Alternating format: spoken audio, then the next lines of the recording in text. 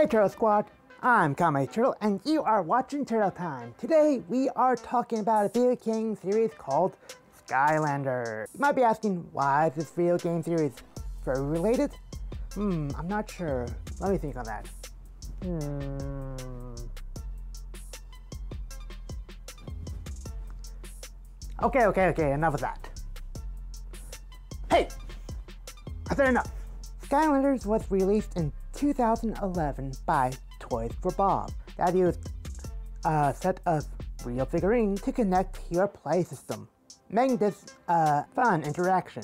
This game series lasted from 2011, as I mentioned before, up to 2017, and where the final uh, game was released. Skylanders can be broken down into roughly 10 unique elements, tribes, family, what have you, which consists of life, water, fire, earth, tech, undeath, and the two newest ones were light and darkness.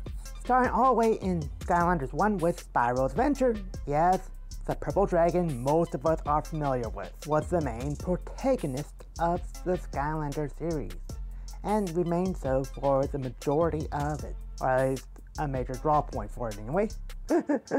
with each series introducing a new mechanic or gimmick. Second series, Giants introduced larger sized characters and smaller sized characters called minis. Size comparisons shown here.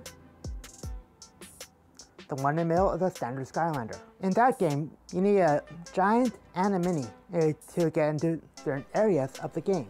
And the next release, we got Swap Force, where you, you had the ability to change out the tops and bottoms of said Skylanders to give you additional movement action, from climbing abilities to flight, or just ability to crush stuff. Example shown here.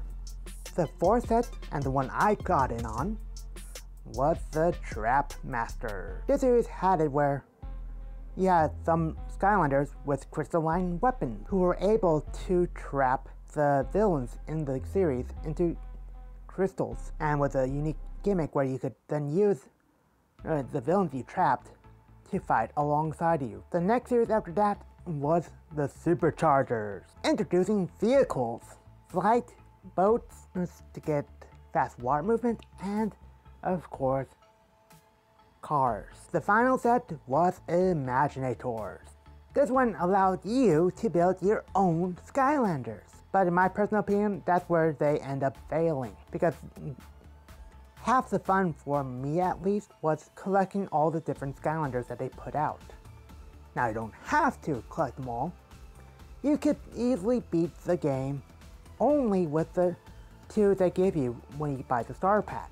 But if you want to clear out the game 100%, you needed to have one for each element, as there were unique areas locked behind elemental gates. In 2016, Netflix started up a cartoon series called Skylanders Academy that featured the different Skylanders, primarily the core team consisting of Spyro, Stealth Elf, Jet-Vac, Trigger Happy, and Pop Fizz as being the main core character. Kind of fitting that they were the core since they were the major characters for the first game.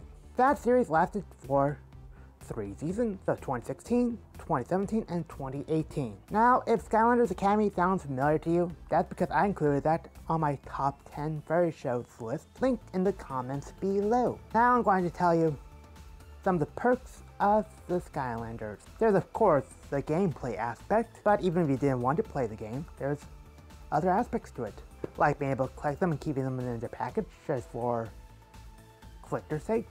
Collecting variants of the characters, including store exclusives or holiday specials. Or just collecting the figurines just to have a play item, because let's face it, we love to play with them anyway. Once again, you could actually just beat the game with the starter set they give you. You could go out and buy only one of each character, and the best part was they were forward compatible. So you only had to buy a complete set one time and then just keep bringing them into the new game. I know this one was a bit strange, but hey, I found it interesting. I thought you might as well. If you got any other topics you want me to tackle in the future, let me know in the comments below. This series had a couple fun turtle characters in it as well. And speaking of turtle characters, if you want to see my personal top 10 character list, well you can see that in the cards above and description below. Otherwise, if you liked what you saw and want more, subscribe to my channel if you haven't already. Hit that bell for notifications when my next video airs. Leave a like or maybe a comment. Share this with friends, family, other furries you might know. And I hope to see you all next time. Johnny.